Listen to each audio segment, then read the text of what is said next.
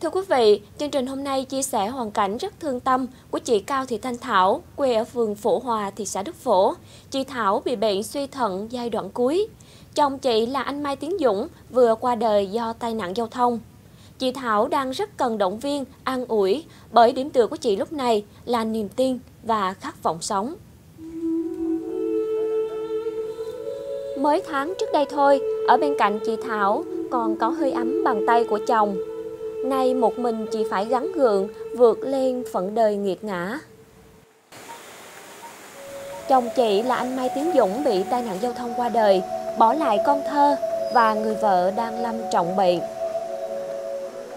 Sức khỏe quá yếu, chị Thảo vừa điều trị ở phòng hồi sức, vừa phải chạy thận. Một tuần em chạy ba lần. Ở đây thì tự tự làm rồi nhờ mấy người ở đây này, ờ, mấy cô đồ đang mua đồ ăn rồi. Chứ còn mẹ em thì ở nhà chăm bé 10 tuổi đó. Không ra được, không xóm ra ăn chút rồi về thôi.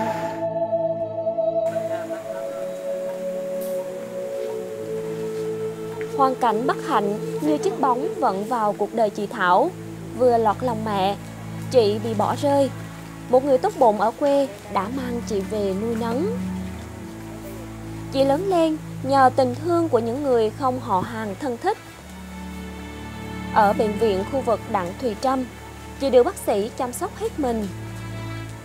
Ai nghe qua hoàn cảnh của chị cũng đều mong có một phép màu xua đi bớt những khổ ải đang vây quanh một mảnh đời bất hạnh.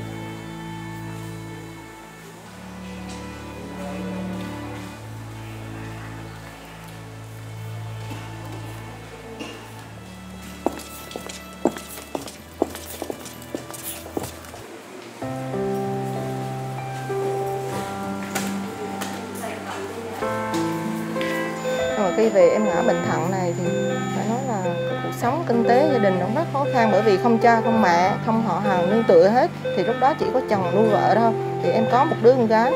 Em nay đứa con gái 9 tuổi và em Thảo này là 38 tuổi. Thì à, à, em đã bị 4 năm nay rồi. Thì đến thời điểm bây giờ là phải nói là em giai đoạn 3 là rất là nặng. Thì à, cái kinh phí để chạy thận cũng ngoài cái thuốc danh mục bảo hiểm y tế thì cũng tốn nhiều tiền trong cái thời điểm như thế này rất là cần cái sự chung tay giúp đỡ kết nối của các nhà hảo tâm mạnh thường quân để giúp cho em. Mà đặc biệt là cái thời điểm này em không còn chồng này không người thân nương tựa nữa. Đó, không còn thân nương tựa nữa thì em rất cần sự chung tay giúp đỡ. Còn nói chung là đau ốm thì cũng mong muốn nhưng mà còn có cái sự giúp đỡ của cộng đồng. Khi không có chồng bên cạnh không có gia đình không có người thân. Đây, cố gắng em ha.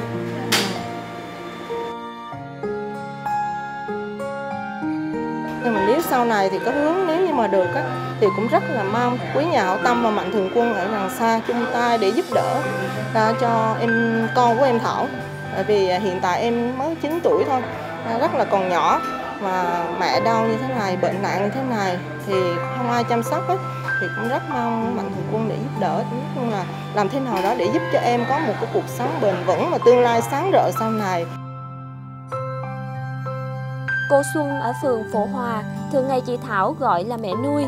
Cô Xuân vừa là mẹ, vừa là bà ngoại, chăm sóc cháu gái Kim Ngân, con của chị Thảo. Tình thương của cộng đồng đang đến bên chị Thảo và con gái Kim Ngân. Dù hoàn cảnh của chị Thảo có lây lắc thế nào thì ở bên chị luôn có những tấm lòng nhân ái.